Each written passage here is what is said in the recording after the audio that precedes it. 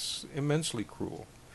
Uh, but every place else has found a way to make sure that basic health services are available to every citizen. Let's recap again. In your opinion, based on your career in public health, what are the major problems with healthcare in America today that you find personally most troubling? The access to care is the first one. That's a moral issue. I've never understood it, and uh, it has always been difficult for me to understand why the rest of the country is willing to accept it. The high cost is a problem, and that has to be addressed.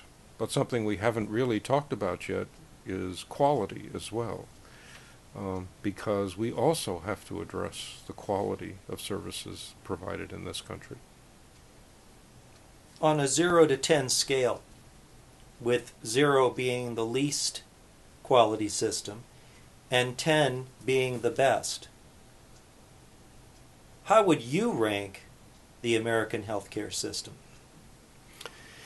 Well, that's a generalized question, and um, giving a generalized answer is risky, but I'll do it. Uh, I'm not sure where I'd put them on 0 to 10, maybe 7 or 8 in the world. Um, you have to understand that the World Health Organization has done a, a study of, of this issue.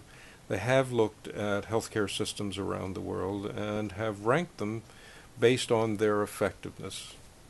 Um, there are we don't have time to go into all the issues that were considered in trying to determine what does effective mean, but certainly access to care and cost are major issues there. Um, the U.S. ranks 37th in the world. 37th in the world. France ranks, ranks first. Um, so it's clear from, if you look at sort of unbiased outsiders looking at this, um, their assessment is that we're an outlier when it comes to the industrialized countries of the world. We're at the low end. We are an outlier in that all the other industrialized countries do better than we do. And yet, we spend more per capita on health care. Absolutely. We even though we're ranked just under or over Slovenia, is it? Yes, something like that. Actually, we're ranked just two ahead of Cuba at 39. so, and Slovenia, I think, is the next one. Um, yes, we spend twice as much per person as our nearest competitor. Well, I, maybe that's not quite right. We spend maybe 50% more than our nearest competitor. If you average out the industrialized world and what it spends per person per year, then we spend about twice as much per person per year, and yet we rank at the bottom of the effectiveness so we're clearly not getting what we're paying for.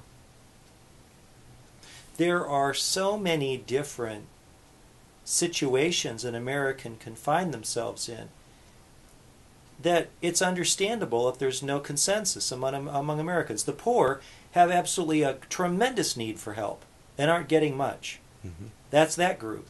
Then you have the underinsured, those who barely have insurance but it doesn't cover enough. They have their problems. Then you have people who are in the military and people over 65 who are already in a system that's very protective mm-hmm. overall, that you can't really be thrown out. Mm-hmm. You're covered. Mm-hmm. Then you have people who have tremendous financial assets or very mm-hmm. strong financial assets, and they can pretty much buy what they want. But it's an interesting point that how the American system looks has very much to do with where you are in that entire span. Oh, yes, absolutely. Absolutely. And you can look at where the opposition is coming from to change. Uh, clearly, those who are making a good living off the current system would be reluctant to see it change. Um, many of those who could benefit substantially from a change system have been frightened to believe that a change system would not be good for them or for the country. And they've been convinced to speak and vote against their own best interests. Um, all too frequently, I think. Um, yes, it's an interesting conundrum in the United States. There are clearly those who are very concerned about a, um, a single payer system, say, uh, for example, because they really do have a philosophic fear, perhaps, or at least a predilection to believe that government involvement in these things is not a good idea. Um, so, could understand that they may philosophically object to something that involves more government. Um, we've also had a very skewed conversation about how it gets paid for. And I think most people don't realize that they're already paying extremely inflated costs in a variety of ways. Yet to use the word tax supported these days is a fairly risky phrase to use in the United States. But actually, a tax supported single payer system would take less money out of your pocket and mine and everybody else's than the current system does. What are the big pluses for Americans for providing care to everyone in this country along the lines of what you've discussed? Well, any who are facing or at least considering the moral dilemma associated with this, it would certainly remove that as an issue. Um, it would improve health of a large number of people.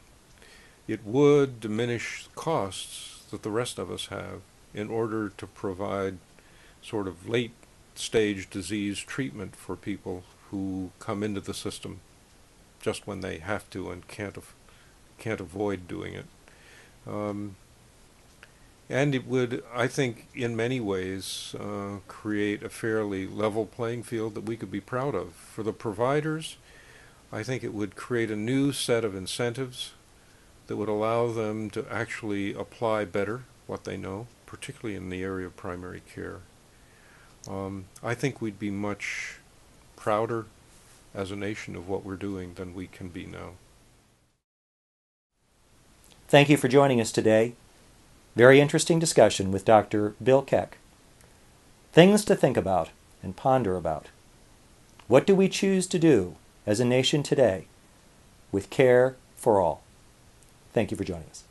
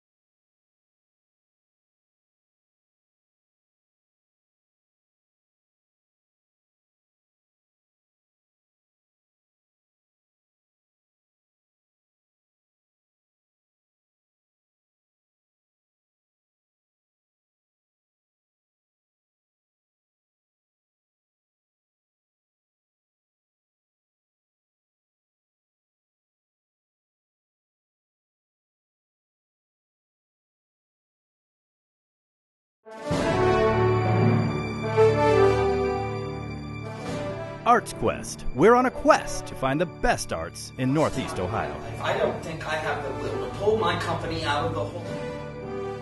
We're here today at one of the grand reopenings of the Cleveland Art Museum.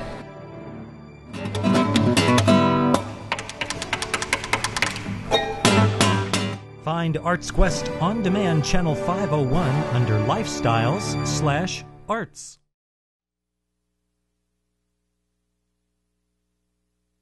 Hi, this is David Kettlewell, host of the Medical Matters TV show. I'm here with a close friend, John Wright of American Ramp Systems. John, tell us a little bit about wheelchair ramps. David American Ramp Systems manufactures a steel ramp. It's an open mesh metal. It allows snow and moisture to pass through in the winter times, making it the most non-skid ramp on the market. We sell these ramps and we rent the ramps. We offer free home evaluations and they require no building permits. Very good. So when you need a wheelchair ramp, American Ramp Systems, freedom for life.